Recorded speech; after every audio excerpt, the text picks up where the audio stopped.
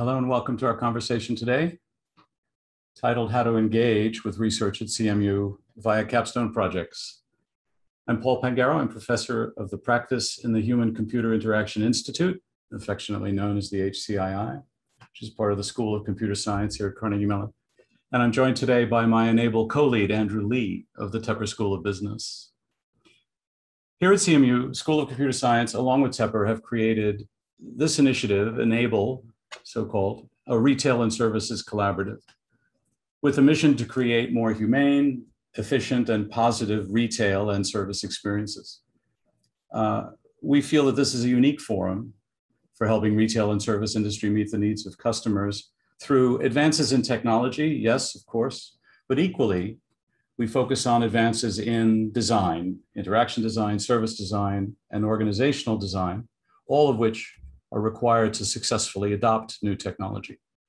So we combine these areas of design and areas of technology into a single initiative. There's much more at our site. Please get in touch if there are specific areas you're interested in. Uh, the site is cmu.edu slash enable, E-N-A-I-B-L-E. So thanks everyone for coming. I want to thank Zendesk for being sponsor of EnAIble. We appreciate it very much. And just a few logistics before we get going. The event is on the record and is being recorded. If you'd like to pose a question, there's a button at the bottom of your Zoom screen, uh, appropriately titled Q&A. Please post your question there and we'll put it in the queue for the open Q&A session after the opening presentations. And with that, I'll turn it over to my co-lead, Andrew Li. Andrew is Assistant Professor of Operations Research at CMU's Tepper School. Uh, really excited to get going. Uh, you can see from the slide, besides me, we have a number of guest speakers with us here today. Uh, but just to make sure that we stay on schedule, I'm going to defer their introductions uh, until later on. Uh, on a related note on, on timing, uh, I'm going to apologize in advance right now to the audience, to our guest speakers. Uh, I'm going to be kind of a drill sergeant today in terms of maintaining time here, and I apologize if, if it comes up kind of a, a, a strict. I just want to make sure that we, we, we hit our our 2.30 deadline. Um, so if you've attended any of our previous EnAIble sessions, right, we do a kind of a monthly series here, uh, you'll know that we typically, in fact, every month up until now, we've, we've, we've dived into a particular area of interest, right? We did uh, personalization, we did a customer experience, we did artificial intelligence in marketing. Um, our, our, our kind of last uh, uh, uh, uh, session for the for the, the, the school year is a bit different, uh, but it's different on purpose. It's to respond to a higher level question that we at EnAIble get all of the time, right? Which is uh, how can companies get directly involved with CMU in research, or maybe more generally just in problem solving? Right. This is probably our most common question. Uh, in theory, this process should be easy, right? Uh, at CMU, we have a bunch of folks who think a lot or who care a lot about solving real world problems. Um, the kind of hypothetical audience member that I'm talking to right now is at such a company, uh, uh, uh, at a retail or a services company, and deals with such real world problems. Uh, so it seems like there should be a path to kind of connect these two groups. Okay. There are, in fact, two such paths, uh, and my goal today is to dive into one of those two. We'll save the other one for another session, probably next year. Right, uh, and we picked this one on purpose. Uh, generally, this is the easier of the two. Okay, these are capstone projects. I'll tell you exactly what a capstone project is very soon. Um, but what we'll do is I'll speak a tiny bit uh, uh, about capstone projects from kind of the, the view from 30,000 feet. Uh, and then the guest speakers that we've invited will, will uh, kind of teach by example. These are the heads of three different uh, programs that we have here uh, through which you can set up a capstone project. And, and, we've asked them to talk a bit more in depth. Okay. Um, so let me just start with, again, I'm speaking to the hypothetical audience member. You've got problems to solve, um, but maybe the, the, the, the, the, you've kind of, the, the path to getting connected to a university is unclear, right? So what exactly is a capstone project? What exactly is a capstone? Uh, this is the one slide that I'm just going to read verbatim uh, because as it turns out, when you bring a bunch of academics together and you ask them to define something, uh, it's it's it's it takes a while, but the result I think is fun, right? So, a capstone project uh, brings a team of highly trained students to focus on sponsor a sponsor defined project that results in an exploration of solutions and potentially a proof of concept or prototype. I've purposely read this verbatim because this is in some ways the outline of my very uh, uh, uh, brief, um, you know, capstone summary? Maybe the few key words to kind of uh, uh, zoom in on right now. Uh, a, this involves students. Okay, I said there were two paths to kind of connecting with, with, with, with CMU right, in terms of your problems and, and our, our desire to solve problems, right? Uh, this is the, the, we'll call it the educational arm of it. Okay, so through all of this, you have to imagine that uh, uh, the bulk of the work is being done by students. So we put that word in red here. Uh, the other word in red, and there's going to be much more discussion on this later on, right, is the notion of sponsored defined, right? Uh, in some ways, um, you again, the the the this this this I'm abusing the word you, but you as in the audience, right, are coming with a kind of problem in mind, and we'll talk about what the right problems look like and what the solutions that come out look like. Okay, so this kind of sets up what I want to talk about. Um, this is again, I'm I'm I'm extremely happy with this definition, uh, but maybe let's let's get into to, to numbers. Let me just give you the, the some hard numbers around all of this. Okay, so an actual capstone project, whatever that thing is, right?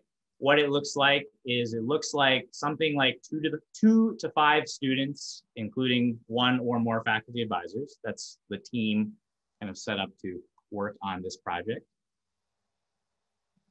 Okay, the project itself lasts less than a year. So like four to 12 months. Uh, and that third bullet says that the starting date varies across programs. I want to be clear here. There's a lot of variability in all of these numbers. Okay, but when we kind of zoom into a particular program, these are actually locked in. This is an important point to make. Now that word program, maybe I should even, again, I'm, I'm speaking to somebody who's never even thought of capstones here, right? When I say program for now, I just mean, I mean, you can think of it as masters in something. What you should really think of it as is, it's a particular topic. Okay, a topic like business analytics, a topic like product management, a topic like human computer interaction. Okay, when I say program, that's how you should think of it as a, a specialty, if you want. And when we see ranges like four to 12 months, two to five students, uh, starting date varies across programs. Uh, I want to be clear, when you zoom in on into a particular specialty, it's actually, this, this is, there's not variable, right? This is just to express the diversity of the programs that we have here at CMU. Uh, more on that soon. Okay, and then finally the price, uh, something like ranging from 10,000 to 85,000. And pause here for a second. Again, I don't want to, there's a lot of information coming at once, particularly if you've just never thought about capstones at all.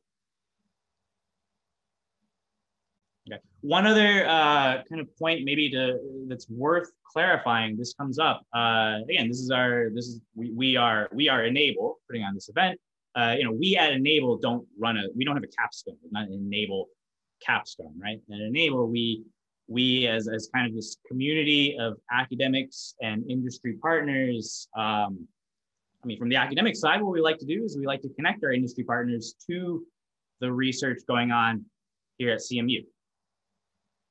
Again, that's that, that, that bridge is kind of what this is about. Uh, one of the fun exercises we did in kind of setting up this presentation uh, is we said, okay, let's kind of look across CMU. Uh, very often we make recommendations, right? Say, you know, uh, uh, uh, we'll talk to a company, they'll propose a problem, and say maybe this is the, the, the, the, the, the capstone program that you want to look at.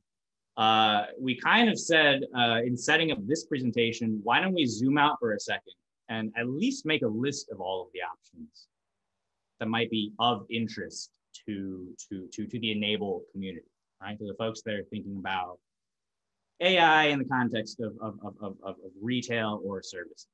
Uh, that turned out to be a larger task than we thought, but the, the end result, right, kind of kind of gave us a landscape of what's, what's going on at CMU. Uh, and it's large. Right, so we're counting right now at least 18 different capstone programs, different specialties, educational programs if you want, right, that have capstones. If you're looking at that first bullet, I have in parentheses more details available after today. That's a real promise. We actually have set up a, a very nice document for you to check out. Right, it's got all. Uh, uh, uh, uh, it's got it's got not every single capstone at CMU, but the ones that we think might be relevant to to to uh, the community here. Okay, and, and, kind of comparing and contrasting on the dimensions that we just had. Um, for now, all I want to express is that uh, the, the, the kind of specialties covered, the, the, the range of specialties covered is broad. Okay, in the in the very last in the three last bullets here, I put a subset of the topics. That doesn't even uh, it's not even close to covering everything. Okay, the ones that I've highlighted in red: business analytics, product management, human computer interaction. Uh, these three in particular, right, the way today's presentation is set up, we're actually going to hear from the heads of those three programs, a very kind of diverse set of programs. Uh, uh, uh, uh, and they'll kind of fill in the, the they'll, they'll, they'll fill in the blanks and frankly have more expertise than me on all of this um, uh, and correct anything that I've said wrong. But where we're at right now is I hope, you know, again, a lot of information at once. For now, you're at a company, you've got many problems that you're thinking about, right? I, the capstone project is kind of the, uh, if I can summarize it quickly, it feels like the short term, relatively inexpensive, uh, and in particular, highly specialized, according to this slide, option for you.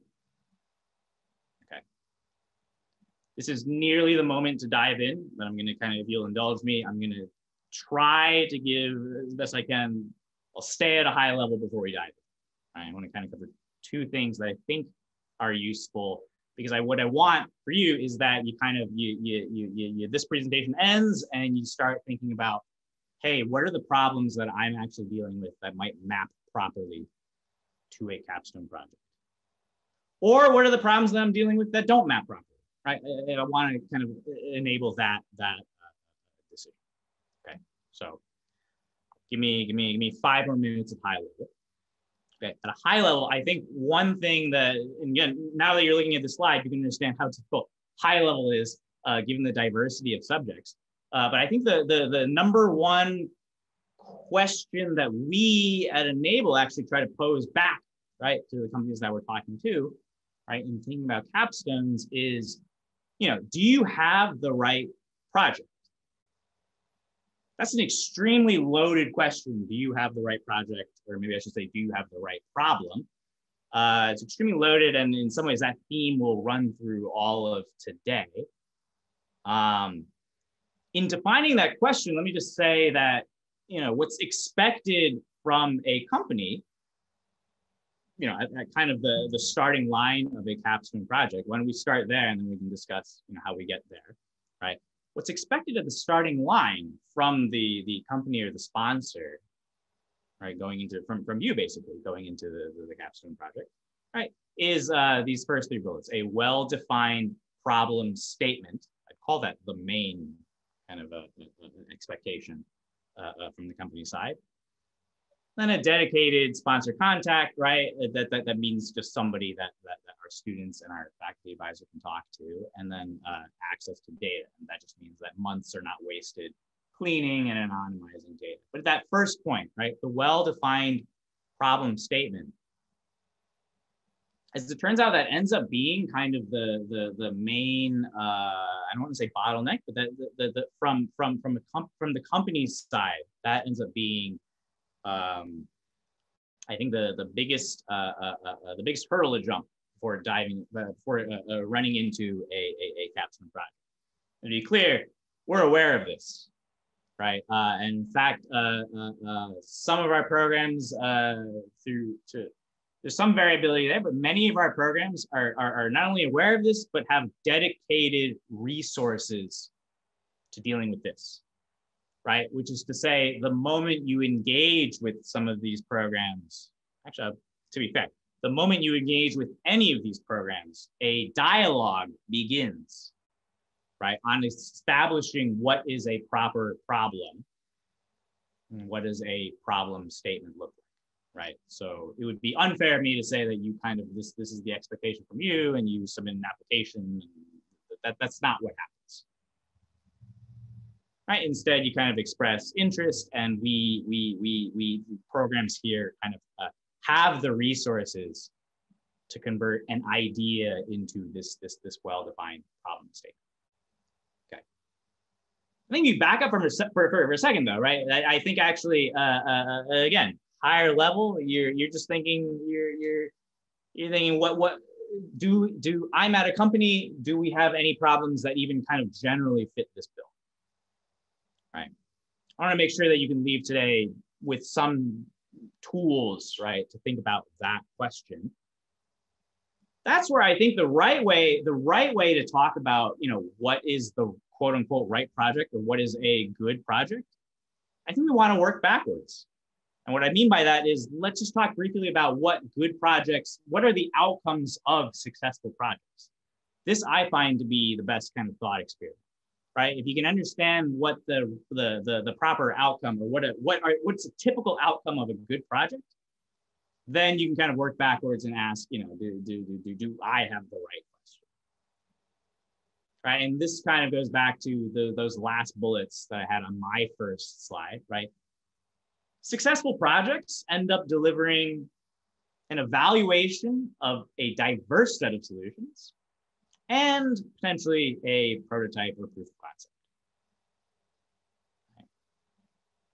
Now, those are meaningful words in in in in in in in, in you know the context that you're sitting in there. Uh, if you'll kind of allow me, I'll I'll give kind of one example that I'm purposely selfishly drawing just from my own experience. Right, I think a lot about recommender systems. Right, and so a, a, a fair a fair expectation of a project, right, is uh, you know we're talking to a small new online retailer, they would like to put in a, a, a recommender system for their relatively small set of products. A fair expectation is that a capstone project will kind of try out the various types of recommender systems, and there are many, right? We'll try kind of try out the different types and make a recommend a suggestion on what is the the, the kind of right path, uh, uh, what is the right uh, direction to go a kind of unfair expectation would be to say that those two to five students uh, deliver a recommender system to be implemented today. Just an example, uh, my uh, our guests have better examples. Uh, okay. Uh, I think that ends up being, again, this ends up being the main issue. We're going to continue to not just touch on this, but this theme will kind of run through all of today. Uh, Finally, I do want to kind of rapidly go through what are the, I call them frequently asked questions. These are just things I want to make sure, uh, again, when you, when you, when you go back home to your, to your, your home company, right? And you're thinking about this option, these capstones, right? What are the things that you think are going to be the roadblocks and are not? What are the things that are not roadblocks that are going to become roadblocks, right? Just very quickly. Uh, the main three questions we get are one, confidentiality. I would say that is not a roadblock. Um, I can't, it's hard to give blanket statements, but that, in my experience, is not really a, a big issue. The, the kind of boilerplate, the boilerplate agreement that gets signed is fairly, uh, uh, uh, fairly advantageous to the, to the company. Number two is intellectual property. This is the fun part. This is education, and our students do own that intellectual property. That is uh, basically a non-negotiable but there are paths to acquiring that, licensing that, right? We're, we're aware of those difficulties. And finally, continuation is probably the number one question we get. Continuation as in, well, you know, you, you emphasize this calendar time, this locked in sort of student calendar. What happens when that's over? Um, it is true that when the project when the project is over, the project is over. But uh, again, we're aware of this, and there's many options to kind of you know, uh, uh, uh, either continue working with those students or, or, or transitioning to either another capstone or the other, the, the, the, the other path to research. Um, that's enough for me. Again, high level, I, I don't think teaches particularly well. Uh, I wanna dive into kind of uh, uh, uh, the guests that we, we brought in. Uh, my first guest, uh, Alan Montgomery, is a professor of marketing at the Tepper School of Business, but, but more importantly for today is heads up our Masters of Business Analytics. Um, Alan. So I'll just be more specific in thinking about an instance of uh, educational projects. Uh, I, I, go back and uh, just echo some of the things that Andrew's been saying. Uh, one of the big reasons that we do these projects is to give students hands-on experience. companies have problems, students have skills, and this is meant to be a great educational experience for them. Uh, it's also meant to give the sponsors something as well. Uh, Andrew mentioned a few that there can be interactions with students uh, and you get a practical solution. What I usually find is that the reason that you want to do these projects is you have a problem that you just don't have the resources in house because there's timing constraints or um, there's capacity constraints. Uh, it, it, it's one of those things that it would be great if we could do this, but we just don't have it right now.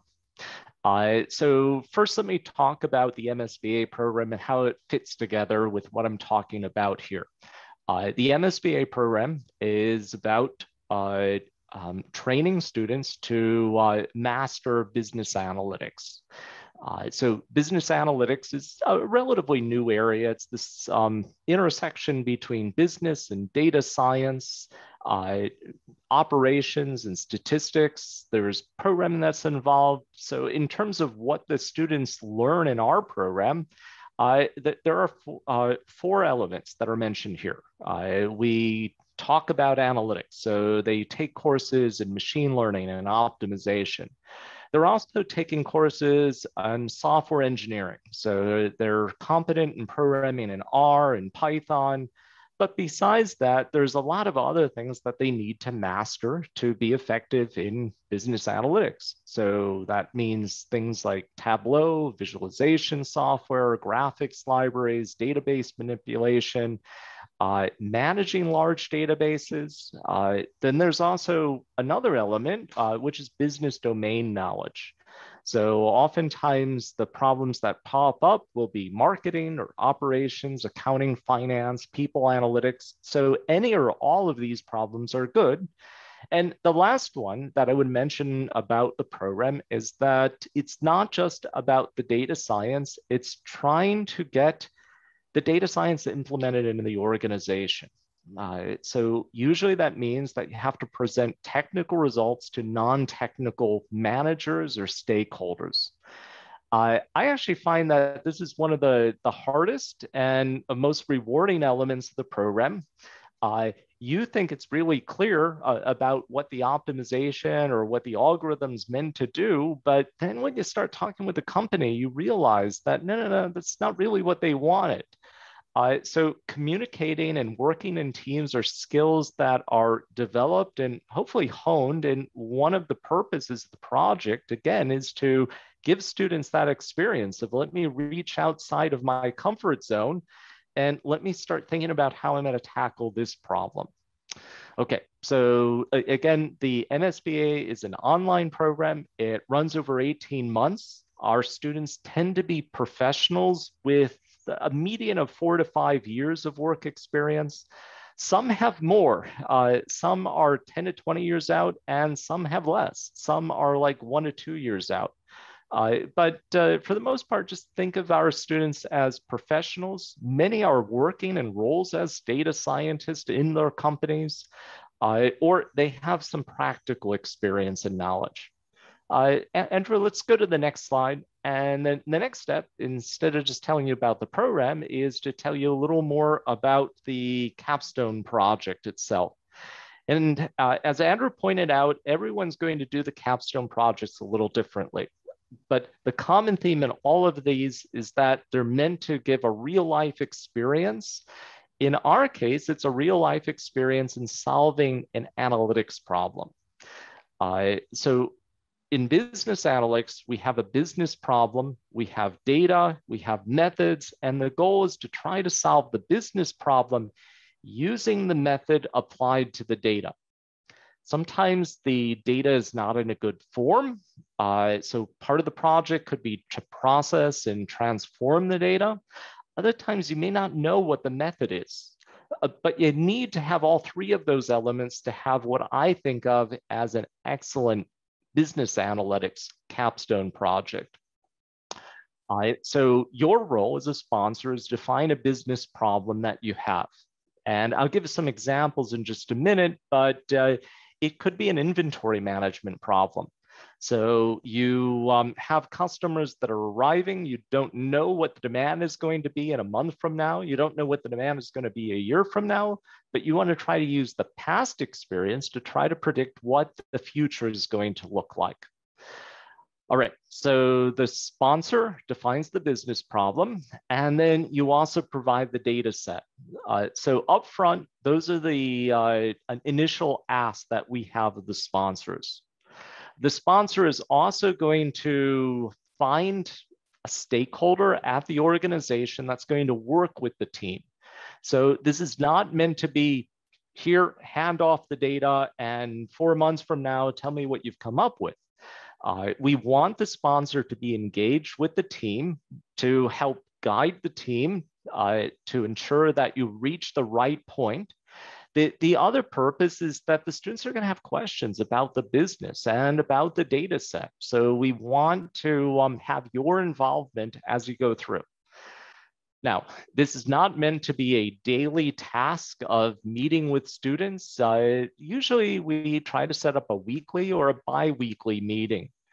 Uh, so I try to be cognizant of the amount of time that the sponsor wants to put in and how much time the students are going to be able to put in. But imagine that you have um, four really talented students uh, and they're each going to put in, say, 10 hours. So that gives you effectively one man week. Uh, multiply this out times the 14 weeks, and you realize that you've got some substantial resources that are going to be brought to bear on trying to solve your problem. Okay. Uh, sometimes you want to have more than one person involved in the project uh, and that's fine. Oftentimes you'll have several stakeholders. Uh, the students will communicate with you um, at a kickoff meeting. There will also be a formal midterm presentation as well as a final presentation. So we have a few milestone, milestones. And again, each of the projects are a little different in trying to make sure that hit milestones. The other thing I would mention is that there's a faculty advisor. Uh, so what the role of the faculty advisor is to give advice, uh, both to the team as well as the sponsor to try to come up with the best solution that's possible, uh, given the resources and the data that is available.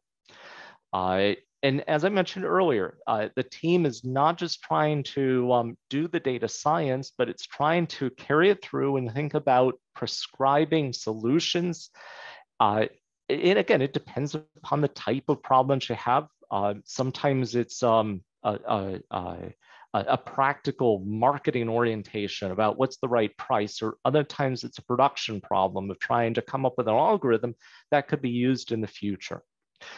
Okay, so that tells you a little about the program and the capstone. Let me give you some illustrations of capstone projects that we've completed this past year. Um, Andrew, if you'd uh, advance to the next slide, I've got a list. I don't think I have enough time to go through all of them. One minute. I've, uh, all right, so I've got enough time to go through one. So uh, let me pick out uh, uh, one about uh, reducing cost for the last mile delivery. Uh, so this was a fun project. Uh, a consulting service is working in tandem with a parcel delivery service. They come to us and say, look, we're at capacity, we're stressed out. COVID is forcing us to deliver more packages than ever. We'd like to try to figure out a way of reducing the um, uh, the cost and trying to increase our capacity. So one way to do this is to go to consumers and ask them to consolidate their deliveries. So instead getting deliveries scattered throughout the week, what if we were to consolidate deliveries into a couple days each week? Surprisingly, consumers are actually pretty happy to do that. Uh, initially, we were thinking they'd be reluctant. Uh, so if you give them a gift card to receive packages, or if you spell out the environmental benefits, uh, oftentimes this is something that they're going to be happy to do. So the project itself involved trying to forecast uh, or predict what package delivery will look like. Uh, it also required to build a stochastic model of what the cost and how those things would um, uh, be impacted by offering incentives to, uh, to um, uh, consumers in terms of delaying. Uh, as I list, there are a bunch of problems up here. A CPG manufacturer wants to forecast, a B2B wants to try to build a SKU level forecasting, a bank has a marketing problem, or a startup web company is trying to think about using text mining to um, improve their interviewing. All right, so very diverse set. Uh, again, I think these are fun to do. Uh, they're challenging and engaging uh, for the students, for the companies. So I, I think this is that proverbial win-win. Hi, everybody. Good afternoon. My name is Brad Eiben. I am the Executive Director of the MS in Product Management program. And I'm going to start today by answering the question, what exactly is an MS in Product Management anyway? Because it's a very unique program. It's, the, there, it's arguably the only of its type and next slide, please, Andrew. Um, what we are, we're a hybrid. And we are a hybrid that's designed to provide the skills to professionals who wish to take that next step to become product managers in a very condensed, very focused manner. We're a hybrid between the Tepper School of Business and the School of Computer Science. And I, I, I like this, uh, this image as a metaphor because we're neither an apple nor an orange, but at the same time, we're both. Um, and basically, it's, it's as you might expect for product managers, it's important for them to understand the business skills, the technical skills, and the design skills necessary to make their, to bring joy to their customers. And along the way, we have leadership wrapped and embedded in every, every course, every step of the way um, and I'll, I'll, get to that a, a little bit more in a little bit. First, though, this program exists for two major reasons. Next slide, please, Andrew. The program exists for two major reasons. One reason is the students, those students who have been technical professionals and want to take their take their careers to the next step, take take that leap to product management. And the other is the subject of today's discussion, and that's industry. And within industry, this program, the basic origin of the program itself is to solve the problem of supply and demand in product management skill and talent. Everybody here who has been in the shoes of a product director or a situation where you've had to hire PM, there are two kind of key quotes that I'm going to base the discussion on and, and the value of the capstone project itself. Uh, next, next slide, please. I'll give you a second to, to take a look at this quote. This is paraphrased from an actual quote with a, a sponsor who I've spoken with. We've been trying to fill this PM role for the past six months. Nobody has the right skills. And we know that these, this unique set of business acumen, design, and technical skill that is required to be a successful product manager, and especially the leadership, the, especially the influential leadership. It's tough to find. It's not out there, it's not readily available. And then the next key quote is next slide, please, Andrew. This one I heard recently, and I think it applies to way too many people. We have a backlog of 200 product related projects to tackle. Um, and that's where the capstone project comes in. So um, th this is exactly the problem that we hope to solve.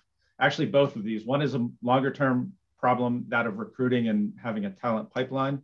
And then the nearer term problem of we just have a massive project portfolio and let's do something about it. Let's let's get some real value here with some real skilled PMs and training.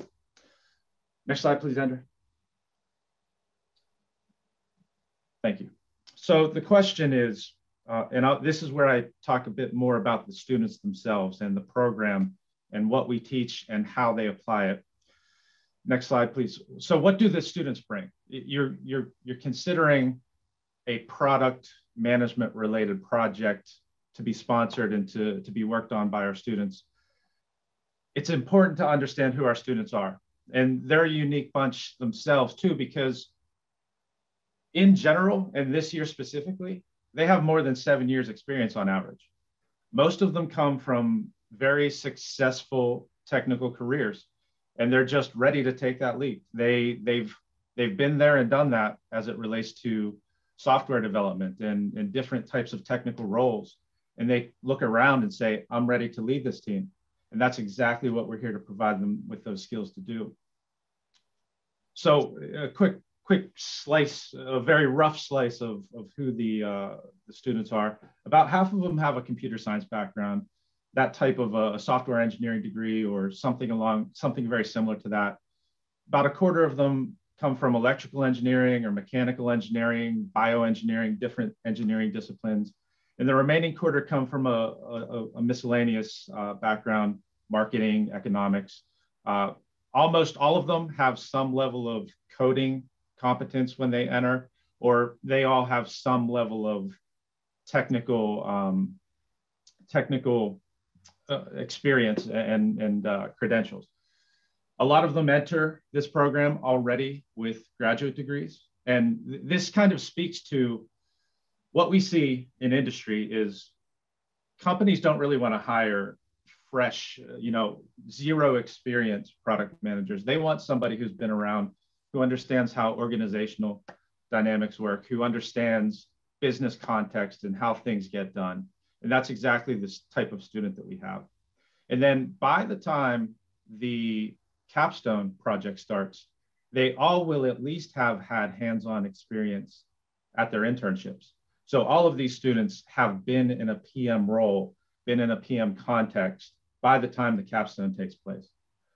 And then, of course, the, the, the blend of curriculum that we provide to them is technical, design, business, and they work almost across the board in teams and uh, leadership roles throughout. So next slide, please, Andrew. So the basic details, next, next slide the basic details are very similar to what Alan presented earlier, where um, except that our capstone is starts in the fall. So we our fall semester starts on August 30th, which means that right now is the time to reach out if you're interested in working with us or exploring a problem statement or even just understanding the, the mechanics of, of the program in better detail. So please do contact me if this is a, at all interesting to you. Um, the team structure for our program is it's typically three students per team plus an industry advisor. And that's the way that we expect it to go forward in this upcoming semester. And then very similar to the way that Alan presented, the sponsor's time is in providing information and receiving updates. So we have the kickoff meeting, we have weekly updates, and we have a final presentation. In some cases, sponsors will be much more involved just because they they choose to. In other cases, they're kind of hands off. They give the students leeway and they go discover information. And um, it, every project, the dynamics of every project and every sponsor are different in that manner.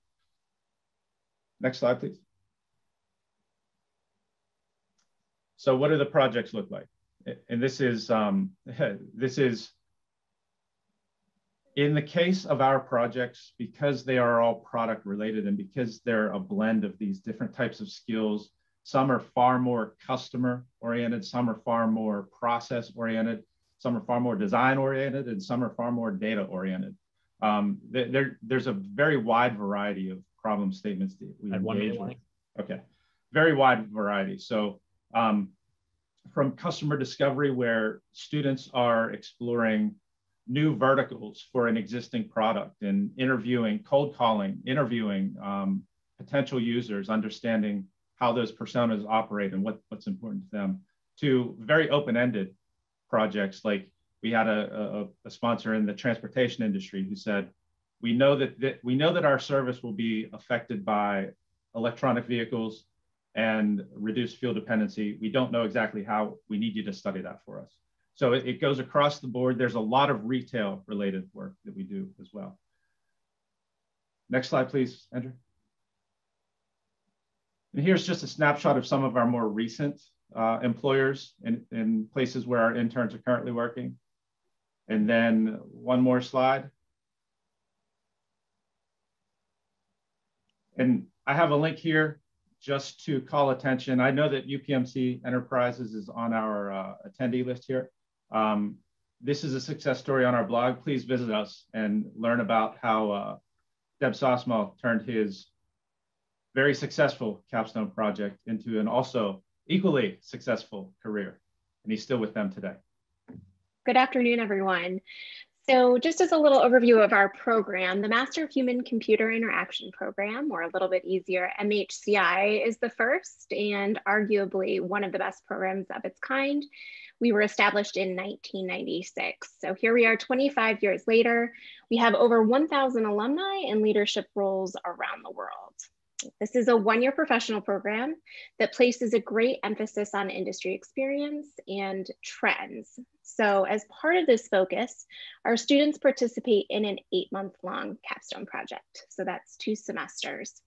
Our cohort, which generally is around 65 students, is broken, they are broken into teams of between four to six students, and then they're paired with an industry client. As in other capstones you've heard about today, they are also supported by faculty members.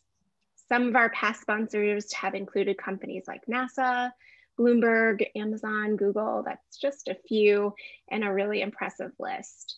These companies also take time to participate in other engagements with us that could include things like recruiting or in-class participation, um, guest critiques or portfolio reviews, bespoke educational workshops. Um, we love to let your imagination run with that one. We're open to explore. At the conclusion of our program, students take positions that could include um, product designers, user experience researchers, uh, interaction or service designers, user experience engineers. Those are just a few of the titles you might see our alum in. And with that very brief overview, I'll pass it over to my colleague Skip, who will provide an overview of our pedagogy and also provide some previous project examples. Thank you, Jessica. Uh, well, first a word about the students and where they come from. They generally have background uh, in undergraduate programs in computer science, design, cognitive psychology, behavioral sciences, social sciences, and about three years of employment experience. I would say we also have a set of students that don't really conform to any of this. And um, we've had here in the program um, the World Scrabble champion and the first seat uh, clarinet uh, player with the Denver Philharmonic. Um, during our program, the students learn theory, methods, and practices um, from design, behavioral sciences, and the key here is that we apply them in nearly everything that we do. Um, in the design studio classes, the research classes, and the technology classes they, they take, um, the theory is coupled with application in a real world problem. The reason we do this is because we want for our students to come here and fill the gaps that they have. A student may arrive with a particularly strong computer science background, but not know um, user interface design, or maybe they don't know research. Um, and so we're really filling gaps and helping them level up um, so that they are positioned to go back into practice as leaders, um, executing research, interpretation of research, running research programs, doing sense making, and working in a strategically significant capacity for their employers. Let's move forward. So here's a wide variety of the companies that employ our students. Um, you'll see some of the usual suspects here, UPMC Enterprises, is here uh, locally, BCG, Plantinium. Um, our employers are um, both product companies um, or platform companies as well as uh, consultancies or agencies. So you'll see a wide uh, mix among those. The way that you become um, a sponsor of a capstone project is to work with Jessica and I to shape a project. Um, perhaps we can take a look at some of the projects that we've shaped for this year's portfolio that Jessica manages. sorry, there we go. Uh, so this year we have NASA, CarMax, InterDigital, uh, Bloomberg, Optum, which is uh, uh Optum Health, 99P Labs, which is Honda's Research of the Americas, um, uh, uh, cooperative research program with 99P, um, Pacific Northwest National Laboratories out of the Pacific Northwest Seattle area, uh, pandemic professors, the Southwest Pennsylvania Partnership on the Aging, the Roberto Clemente Museum, one of my favorites here in Pittsburgh, um, uh, PA WIC, which is Women, Infants, and Children's Program, and we have ourselves as a client as well, the School of Computer Science grad program, which is 47 different graduate programs that uses an enterprise application um, to uh, administer the admissions process. Um, so let's take a quick look at what the process looks like for shaping up a project. Um, last year, if you can move forward, Andrew. Thank you, sir. We worked with uh, Amazon Music, and this is the project that we shaped. Everybody knows Amazon, um, particularly with their consumer services and their conversational agent, Alexa, which embodies the form factor of a tower or a little hockey puck type thing, as well as a couple others now that look like globes and whatnot, and is available on mobile devices like this. So our students were challenged by Amazon Music to figure out what happens when Alexa can break out of those embodiments or form factors and become part of the world around them. Um, what I'm about to show you is a concept design um, in the form of a movie that shows all the possible ways that data that is connected to users and individual users in particular can be used to influence their experience with music, thus creating new opportunities, new revenue streams, um, and new possible partnerships. So Andrew?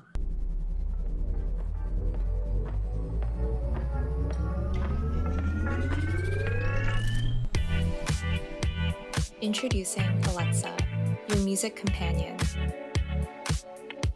In 2025, your musical life is blended with your in real life experiences. And Alexa plays you the perfect song to match whatever you're doing. But music extends beyond just listening.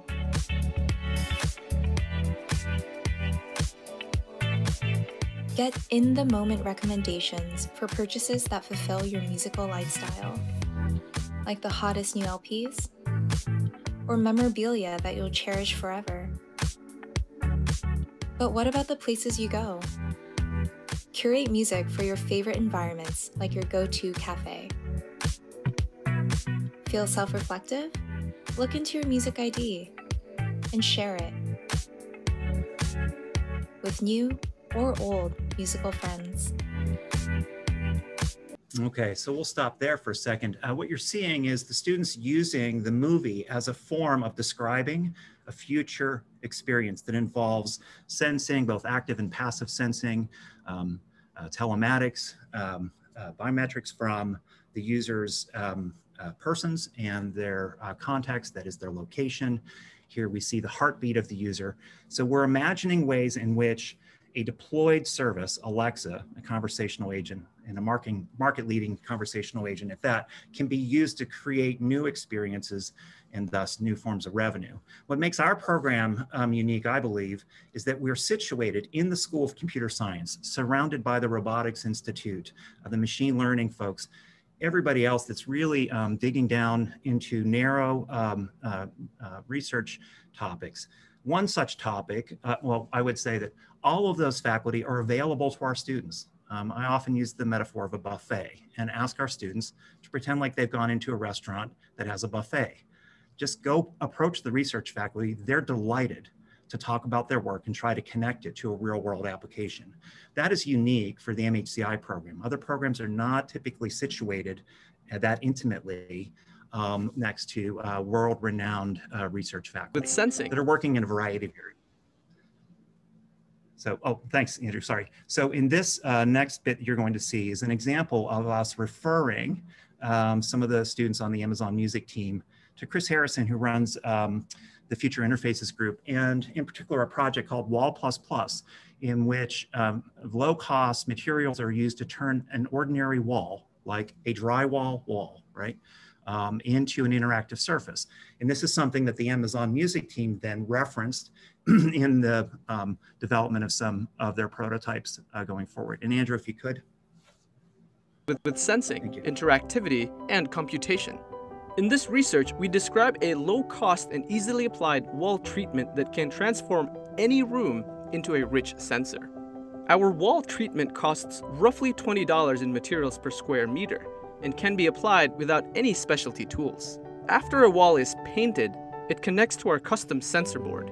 We measure mutual capacitance between every row and column pairs, much like a smartphone touchscreen, which provides a matrix of values that allows a wall to sense the distance to capacitive objects, such as a user's hands or body. This immediately enables room scale touch sensing opportunities, including hover tracking and even gesture sensing. Okay, so you can see how um, the research work that's being handled in uh, just one lab of many labs at the HCII could be referenced by the students for Amazon Music to make a connection between the digital world and the physical world, and in particular, the overlap between those, right? Imagine a van that overlaps. So that's the kind of project that we run here at the um, uh, Master of Human Computer Interaction, and I'll turn it over to Jessica to conclude. Thanks so, so much, Skip, for showing us those examples. So we would be delighted to take any questions, to share more examples of previous projects or explore opportunities for your own project. Um, we are starting that process now, so don't hesitate to reach out to me at this uh, email listed on the screen. And there are some other websites listed where you can learn more about our program and also view past projects. So thanks for your time. I'll pass it back over to Andrew. Okay, so thanks to our guest, uh, guests. Alan, Brad, Skip, Jessica, I think we stuck the landing on this 2.30 ending. Um, I'm gonna open up to questions soon uh, and just kind of wrap up the presentation portion of today. Uh, so this is our last EnAIble event before taking a break for the summer, um, but we're back next fall, so stay tuned. Uh, this series just resumes in September. Okay. Uh, in the meantime, I encourage you to check out our website, right? Uh, edu slash EnAIble spelled appropriately. Uh, you're going to find there what we're about and every recording of previous events, uh, what we've been doing, all the resources that we share around those. Uh, more importantly, as always, we'd love to hear from you. Even today's event was defined by you, right? Our community. Let us know what you're thinking about, what you're worried about, what you're focusing on related to AI, retail, services. Okay. Um, and finally, we encourage you to join as a sponsor. Um, this is ultimately the best way to get directly involved uh, in our community, right? This, uh, among the many benefits involves, uh, among the many benefits includes uh, kind of defining these events, uh, kind of explicit guidance on on on, on this this this this research, these research paths that we talked about today, uh, recruitment, so on. And we have I have, if you're looking bottom right on this slide, uh, you want to talk to Chris Kissel, right, at EnAIble at cmu.edu. Okay, again, thanks. And now we can, uh, uh, now we can and will uh, open the floor to questions to, to hopefully our, our guests here who are the experts.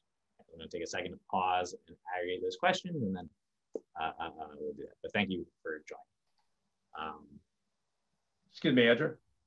Yeah. There's, there's one in chat that perhaps uh, Skip and I can speak to. I, I think it's a really good question as related to what's the difference between an MSPM and an MHCI project. Um, I, will start that, I suppose, by saying that some MSPM projects have a design element, but not all, not, not by definition. And perhaps you might one way to think about it and skip you can confirm or add to this is that the mhci students are de design experts. The mspm students are kind of more generalists who are looking for the business outcome related to the design. Um, so there may be more metrics or business models or uh, viability studies related to an mspm project where it's not just uh, not just design but it's not design at the core it's design as part of a, a broader scope of a project. Yeah, I would agree with that. Um, an MHCI project has as a requirement, an academic requirement for the program, um, the students must conduct the full life cycle of um, human computer interaction methods from research to concept design um, to detailed design to prototyping, testing, validation, uh, rinse and repeat and figure out how to do that at a rhythm that would match industry. Um, another distinction I think that you'll find between MSPM and MHCI is that MHCI teams are, um, we assemble five student teams um, taking the data that we've collected from their admissions process and all of their academic work while they're at CMU and before, as well as other inputs from their faculty and finally inputs from them to assemble um, uh, five student teams that are interdisciplinary in nature so that we optimize the amount of learning between peers on the team and between the 12 to 13 capstone teams in the cohort that year. Um, and so I, my sense is, I also teach MSPM students, and my sense is that they're often embedded, um, you know, with are working with um, uh, their the, the, sponsor, and our teams um, uh, have a slightly different academic program, and we we must give them interdisciplinary uh, setting in which to execute that program. Yeah, and, and Skip, just to add to that, one of the, one of the reasons I like that question so much is that there there is some overlap, and there's opportunity for overlap, and there's op opportunity for continuation from one program a focus from one program to a focus from the next program. So perhaps an MSPM project team will study whether there's a market for a particular project or product. And then MHCIs can take it from there and understand the users, design the thing, prototype it. I agree. Likewise, I think there's a chance for us to work with Alan's uh, program, and mm-hmm. um, as data is becoming, as some say, the the oil of our economy, um, it is something that we all we increasingly deal with in the HCII and are focused on teaching students how to design with data, and uh, that might be a kind of a currency that connects um, projects from the same sponsor between programs. We did have an example in the uh, MSBA program where we uh, co-sponsored um, a project with the uh, uh MBA program. Uh, so there are lots of uh, potential interactions. So if you see um, a problem that really crosses bounds, I- am sure we're happy to try to tackle it. Mm -hmm. Yeah, that's a subject that I wanted to bring up is the the and I'm gonna this this this came up because you know you you can imagine we we we we got together before this presentation. Uh, is this notion of a of a serial serial capstones, right? Kind of connecting them in the right way. That um, you know I had like mentioned renewal earlier, which meant that you kind of you do capstone, you repeat with the same program. But it, it feels like, given the massive landscape of programs here, there's actually there's there's ideally a way that we can kind of connect these all, right? That one project can kind of uh, lead into another. Uh, so the one kind of uh, the only challenging question that I think I'll pose to the, the to our, our, guests here is is is there a path forward to that uh, kind of you know in, in, in the near future, right? In, in that in that, that the, the serial project idea. I would say for the group that we're all open to exploring that and think that's very exciting. Um, we we work on the same campus, but we you know continue to look for ways that we can work together. So we can always jump on a group meeting with um, an industry partner and talk through how that how that could look.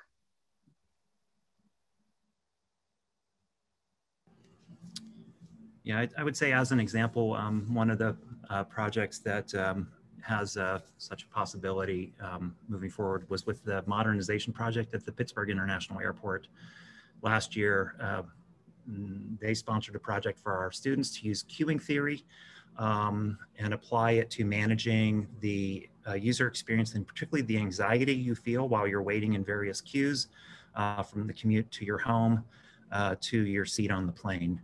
Um, that project looks like it's going to continue to have a path forward and uh, another master's program here at CMU, um, the Master of Software Engineering program, in the Institute of Software Research has now gotten involved with discussions um, around uh, um, using um, that subject for their uh, software engineering master capstone project.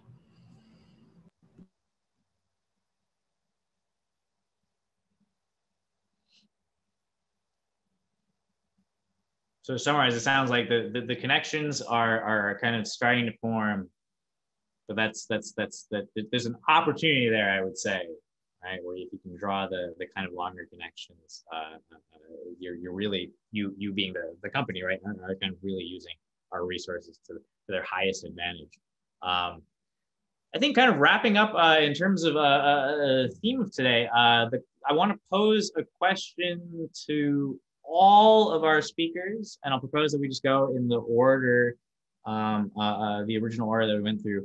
Um, do you have any advice, right? Ultimately, this is about advice in terms of engaging in capstones. Do you have any advice in terms of avoiding potential or common failure points, right? This is this is uh, uh, maybe a half challenge question here, but you know, occasionally challenges arise in the middle of a project. Um, you know, what are those, and how can those be avoided? And again, we'll, we'll kind of go uh, in the order of presentation. So, Alan, uh, can you start us off? Yeah, I'll, I'll try to just pick one, uh, which is I would avoid projects that are in the critical path. Now, you might think the critical path is a great place to be because that should be the projects that people care the most about. Uh, but that's also the place where it causes a lot of conflict because there is so many demands on the sponsor side. And oftentimes you know exactly what it is that you want done. Uh, so it's not the best type of project uh, because it doesn't give the team some latitude and some creativity and the uh, timeline is uh, several months, which is enough to complete a substantive amount of work. Uh, but sometimes the critical path projects are ones that are going to demand man years instead of man weeks. So uh, I, I think that's one that I would try to stay away from. Thanks, Alan. So it gets to kind of the, these are, you know, expect open-ended solutions. Don't kind of throw that into your, your kind of closed-ended uh, point of a, of a project. Uh, Brad?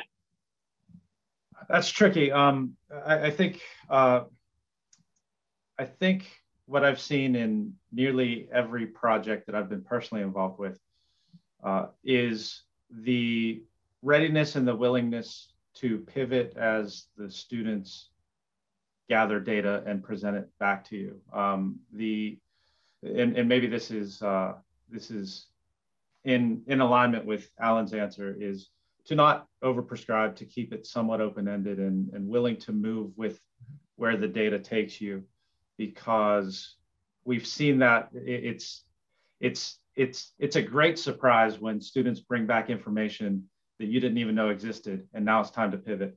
So um, I, I think more often than not, we see the end deliverable be somewhat different than the initial kickoff expectation mm-hmm. but in a good way. I like it. So again, the theme is again exploration, open-endedness, and the the one or a few projects that I revised that that same flavor. Right? It went in a different direction than, than kind of the, the the the company had expected, and you view that as a plus. I think. I hope. Um, Skip and Jessica, can wrap this up. Oh, go ahead, Jessica. Yeah. Thanks, Skip. I would say along those same lines, um, there has to be a balance with how much confidential information is provided to give students that room to explore. Um, the students will keep confidential information as such, but they need to be able to talk about an adequate amount of information um, in a public setting and also include it in their portfolio because it's a learning experience. Um, and then I would completely agree with what, what Brad has, has said too. Skip, I'll pass it over to you for any add-ons there. Yeah, I would just say um, I encourage you to work with Jessica and Chris um, because they know the university um, quite well and they know when things are happening. And oftentimes there's a chance to attend a capstone presentation uh, because the sponsor would be okay with another company attending. That can give you a sense of how um, how your experience um, may, may, play out. I also encourage you to shape the project descriptions, um, you know, with us. And I think above all, be a client. we've got the we've got the the faculty and learning end covered, um, it's kind of like what Alan said before when he emphasized uh, the role uh, or the importance of uh, business domain expertise um, uh, being a component of the students' learning. That's really what we need for sponsors to supply. You guys are experts in your businesses. Um, and the faster that we can um, absorb that expertise, in particular, the faster the students can, um, the more time they have to, you know, um, research designed prototype test and repeat Um, so you can get lots more iterations out of them. I think it's the, the perfect way to, to, to wrap this up. Uh, thanks, Skip. Um, so, okay, uh, uh, the folks in the audience, uh, thank you all for, for, for coming. And this is our last uh, uh, talk of the series, and we'll resume uh, this fall. Uh, thank you again to our speakers, Alan, Brad, Skip, Jessica, you busy folks. Uh, really appreciate uh, you joining us for, for, for, this hour and a half today. Uh, and then finally, thank you to everyone that helped put on this event. Uh, Kenny Blair, Laura Alford, as always, uh, you're the best. Chris Kissel, who's frankly co-lead of, of, of EnAIble, uh, and our, our, our sponsor, Zendesk. Um, so thanks, everyone. all the best. Stay safe.